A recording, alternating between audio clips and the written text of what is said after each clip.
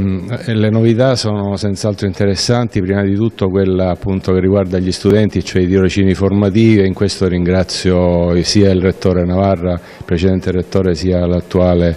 eh, professore Puzzocrea che eh, no, oltre ad averci dato, avere confermato il, il,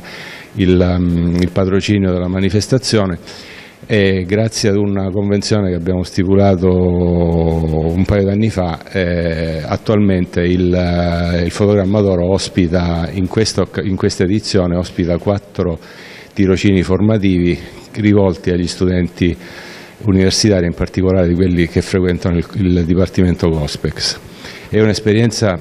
senz'altro interessante per il, la, la, formazione di questi ragazzi che obiettivamente hanno dimostrato grande interesse e, e oltretutto si sono proposti con idee, progetti oltre diciamo, i limiti di quelle che erano le loro, le loro eh, richieste per la frequenza del tirocinio.